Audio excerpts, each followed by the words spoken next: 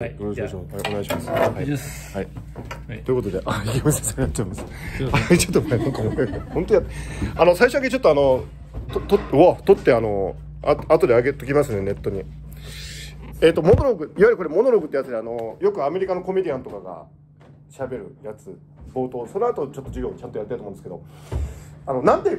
知性に、インテリジェンスに興味があるのかっていうと、あの、まあ、自分で言うのはなんなんですけど、俺、ものすごく、あの、IQ が高くて、でだけど大したことできてないわけですよ今までの人生で。あの意識の問題やってるんですけどいいとこまでは言ってんだけどちょっと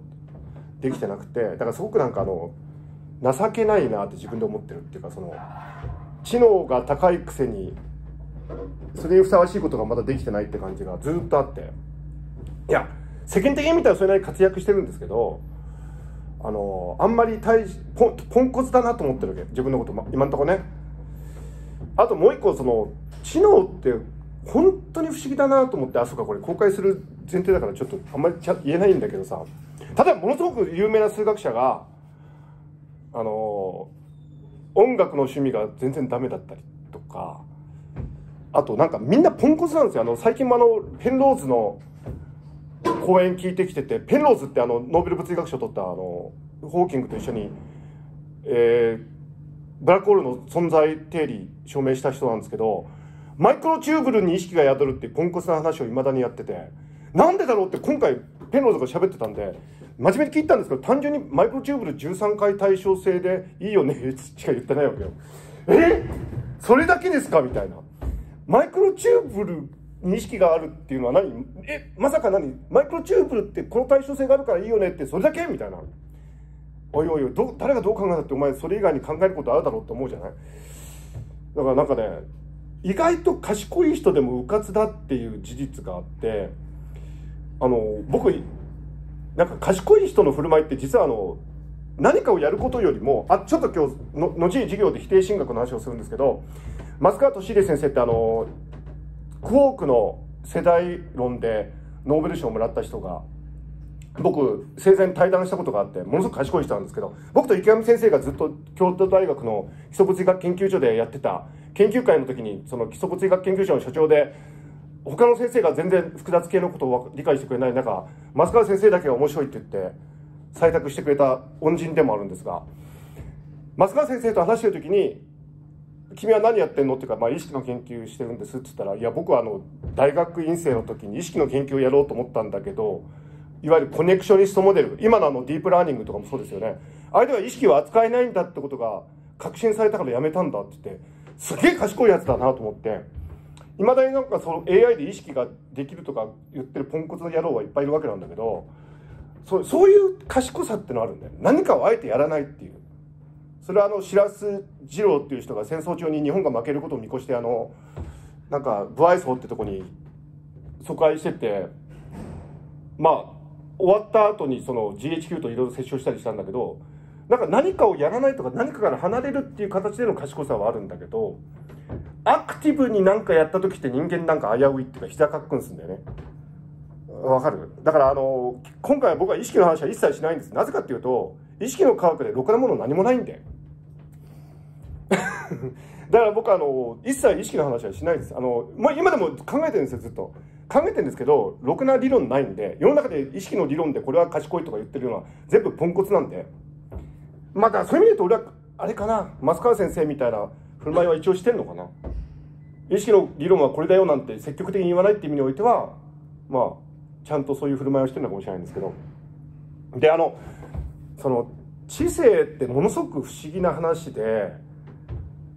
今日ねあのシンギュラリティの話をするんだけど今人工知能業界ではあたかも知性とは何かって分かってるかのような振る舞いを話をしてんだけど全く分かってないよって話をしたいんですよね。であのとにかく今あの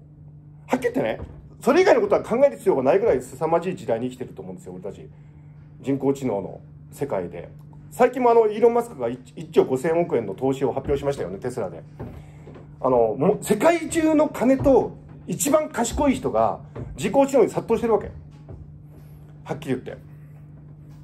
でそういう状況の中で実は知性って何なのかって分かってないっていう。であのあとあれですねその人工知性じゃ人工知能だけじゃなくて人工意識っていうものがどうできるのかできないのかってことについて全く分かってないっていう、えー、モノログあと5分ぐらいですね。そういうことがなんかすごくあの面白いなと思ってて。だから今日あのこのシンギュラリティっていうことで、えー、統一した話をするんですけどあのまあこれ、えーと、大学院生向けの授業ではいつも言ってるんですけど、まあ、研究に向けての作戦会議だと思ってるんですね大学での授業ってのは。でファクトイドファクトイドっていうのはさなんか事実の断片みたいなものを並べてもしょうがないと思うんだよそんなのだって今どこでもあるじゃんネットだってだからなんかそのその人の人柄とか人生とか物の見方とかが伝わるような授業じゃないと意味がないと思うしこの特に院長モリバス授業ってそれぞれの先生がねそれぞれの見解を述べられるんだと思うんで、まあ、俺は今日自分の見解を述べようと思ってますけどだからまあ今日の話は、まあ、シンギュラリティなんですけど、まあ、論文のちょっとなんていうか作戦会議っていうかだから今日話すことはみんなパクっていいですあの別に。パクりたかったら。俺おそらくパクれないと思うんだよ。ソースコードがないやつってパクれないじゃん。あのオープンソースじゃないと。でも人の思考ってオープンソースじゃないよね。で俺が言ってることをなんか文字列で終えるかもしれないんだけどどういうメカニどういうプロセスを経てこの人はこういうこと言ってるのかってことまで分かんないじゃない。てか君たちは君たちそれぞれ一人一人がさ持ってるわけじゃん。思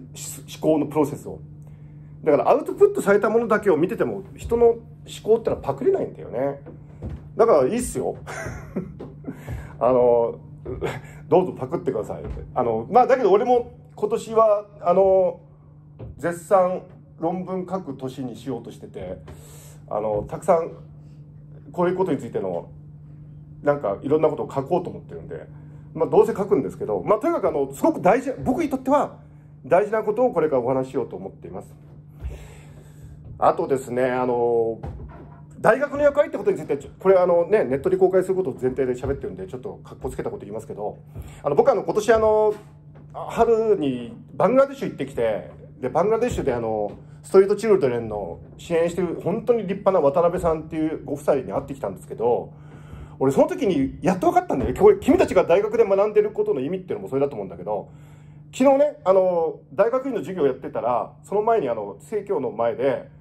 ガザ地区のことについてのデモンストレーションやってたわけ。で今まさにコロンビア大学では大変なことになってるわけアメリカの。で僕思うんだけどね。だけどまあそれはそれ大事だと思うんだよね。でもその東大のそのデモンストレーションは俺の授業が1時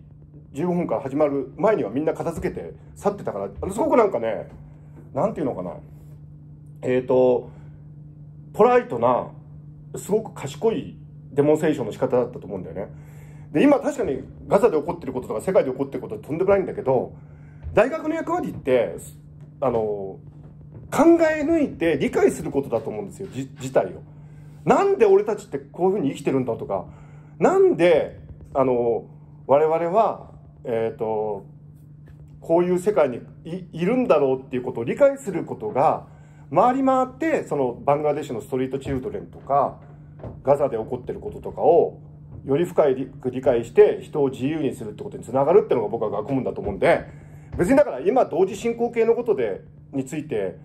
あのデモンストレーションすることだけが別にそれを否定してるわけじゃないんだよ。否定してるわけじゃないんだけど今日これから俺たちがここであの検討する知識の知性のこととかが回り回ってあの世界平和に貢献するってことは僕はあると思うんだよね。だから大学の役割そこにあるんじゃないかなってあの思っています。なのでちょっと誇りを持ってあのいろいろ研究とか勉強とかしてほしいなと思っています。あとですねあのまあ意外とこの学際科学科はあの昔科学史科学哲学っていう学科があってそれの伝統を引き継いでると思うんだけどあの今人工知能今日人工知能の話するんですけどたくさん。非常に人間のありとあらゆる思想がそこにあの流れ込んできている学問だと思うんですよね。だからあの別に Python いじんなくてもトランスフォーマーのモデルいじんなくても GPU をたくさん金に任せて集めなくても人工知能についてあるいは人工知能が起こしている事象について語ることとか貢献することはたくさんできると思いますのでぜひあのそういうつもりでちょっと今日話聞きながら自分ではこう思うとかそういうことを、えー、やっていただけたらいいなと思います。ということでこれがいわゆるモノローグってやつでこれあの日本の吉本みたいなお笑いの文化とは全く違うあのアメリカのお笑いお笑いっていうかコメディアンってのはこうやってモノローグってやるんだよね別に今コメディアンとしてやってなかったけどそういう文化があるんでちょっとモノローグとしてやりました。10分14秒。これはあのネットに上げておきます。